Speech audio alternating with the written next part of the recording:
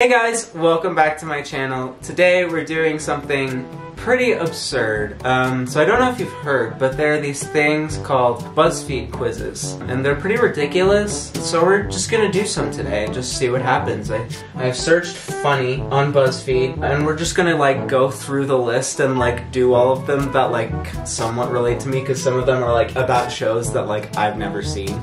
So don't like don't kill me in the comments if I haven't seen your favorite show. I just I don't really watch TV that much. I mainly watch YouTube. So don't hate me in the comments.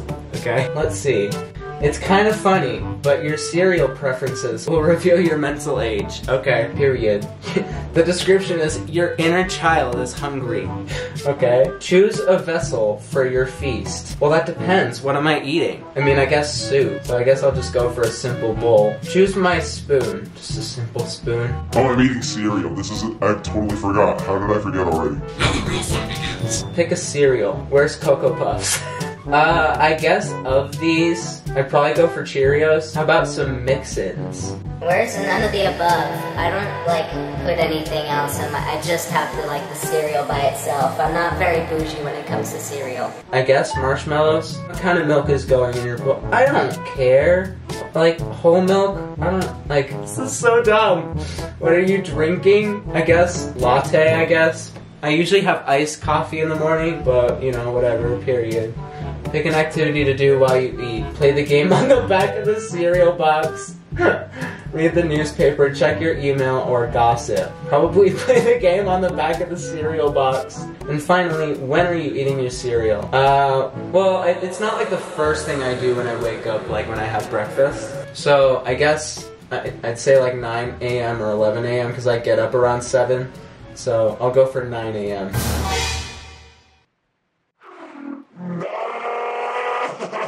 My mental age is 42. You're fully grown, hun. Responsibility looks good on you, as do sensible shoes and cardigans. Oh my god. But really, I respect your choices in cereal and in life. Well, thank you very much. This is kind of funny, but we know if you're more like a cat or a dog based on your candy preferences. Okay, sign me up. Prepare to make some very tough decisions, apparently. Okay, here we go. There's 36 comments. Oh my god. M&M's or Skittles? M&M's, definitely. Skittles are like so much, you know? Snickers or Three Musketeers? Neither. I'd rather have a Milky Way, honestly. I mean, if I had to choose, I guess I'd go for Snickers. I don't really. Milky Way Classic. Reese's Cups or Kit Kat. Ooh, both good choices, but I think if I had to choose just one, it would be Reese's Peanut Butter Cups. Uh, Sour Patch Kids or Swedish Fish? Um, well, I don't really know anyone on Earth who likes Swedish Fish, except for maybe my mom. But I feel like nobody really likes Swedish Fish. They're kind of gross. So, Sour Patch Kids for sure. Airheads or Twizzlers? Uh, definitely Airheads. Uh, Hershey Bar or Twix? Oh, that's easy. Twix, 100%. Crunch Bar or Butterfinger? Crunch. Always came with the pizza Lunchables back in the day. So definitely Crunch Bar. Uh, Smarties or Starburst? I think probably Starburst, to be honest. There's so many questions. Why are there so many questions? PayDay or Heath Bar? Eeny, meeny, miny, moe, catch a tiger by his toe. If he hollers, let him go. My mom says to pick the very best one, and you are it. Guess he worked. Gummy bears or sour worms? Hmm. Oh, this is actually tough. I think sour worms. And finally, almond joy or mounds? Neither. Eeny, meeny, miny, moe, catch a tiger by his toe. If he hollers, let him go. My mom says to pick the very best one, and you are it. If I was done yet. Almond joy. I'm a dog, apparently. Even though dogs can't have chocolate. You're more dog. You love meeting new people and going on adventures. You're playful, loving, and bold. Like, where did they get that from my. Candy preferences. Like, where, where, like, I don't see, like, the correlation there. That just doesn't seem to make any sense to me. I guess I wonder how you would get cat on this quiz. But anyway, period. It's kind of funny, but the first date you plan will reveal who has a crush on you. I mean, okay. I don't think anyone's crushing on me currently, but I guess we'll say. First things first, what are you wearing on this date? Something cute, something formal, something comfy, something trendy. Probably something comfy, you know? Unless, I mean, I feel like that depends. Like, if you're going to like a fancy restaurant for dinner, then definitely something formal. But if you're like going on a picnic, or maybe even like going to a movie or something, I think something comfy or something cute. Why am I thinking so hard about this question? it literally doesn't matter, but like it does depend on what date you're doing, you know? So, I mean, I guess in general something comfy, but like if you're like doing something fancy, also, you know, something formal but also comfy. Uh, when does the date begin? Uh, well, my bedtime is 9.30, so, uh, I guess 5, so we could have plenty of time. Where are we going first? The beach, a museum, a concert, an amusement park. Well, I personally love amusement parks, so that's what I would choose. Where are we going now? Mini golf, a pottery class, a psychic, a club. Definitely not a club. That's too loud and like you wouldn't be able to like chat with your date at all, I feel like. Mini golf could be fun. Let's grab a bite to eat. Pizza, sushi, steak, or ice cream. Ooh, it's a toss up between pizza and steak. But then again, like it would be up to like what she wants. I'd be like, where do you want to eat? And depending on what she said, I would choose one of these. But I feel like it's hard to screw up a steak because like I feel like some places don't make like as good pizza as others. You know what I mean? Like I feel like some restaurants, I won't name any obviously, but I feel like some restaurants make pizza better than others, whereas I feel like it's hard to screw up a good steak. But I guess if we're wearing something, why am I thinking so hard about this? This is a, literally a BuzzFeed quiz. Why am I thinking so hard about this? This is ridiculous.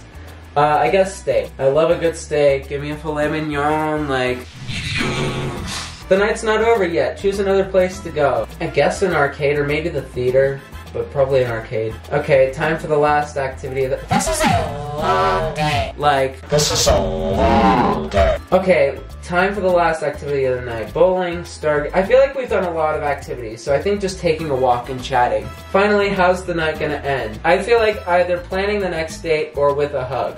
Because I feel like you can't kiss on the first date.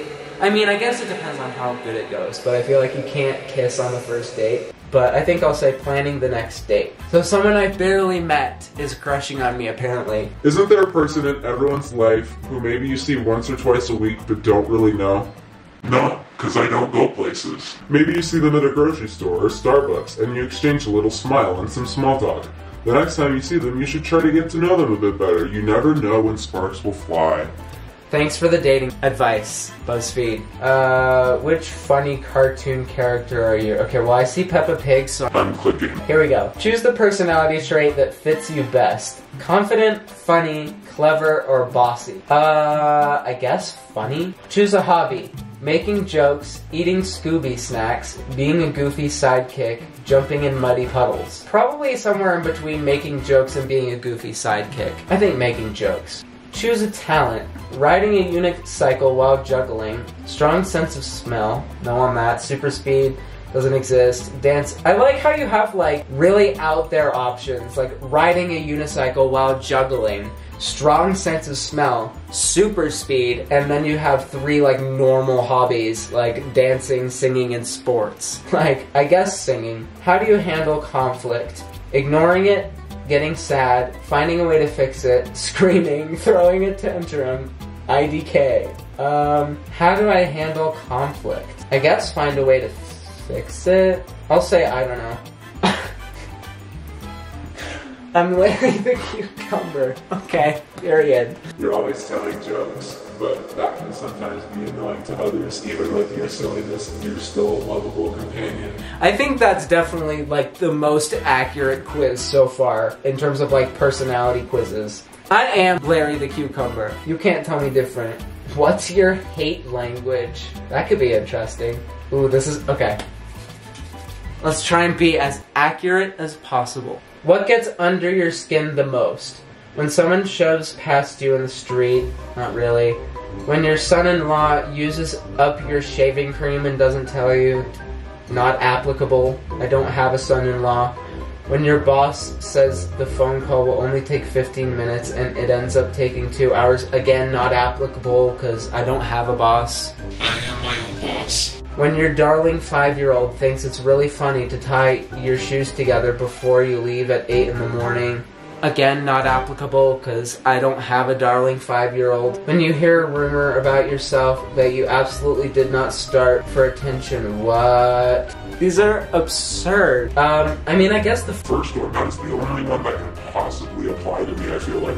Okay. Second question. In school, you were the kid who routinely bummed gum, lip gloss, hair ties, and snacks off of other kids. No. Took roughly 20 extensions per semester and still managed to procrastinate until the last minute. I feel like that's pretty accurate. Had the hot gossip on everyone and was not afraid to blackmail others to get what you want.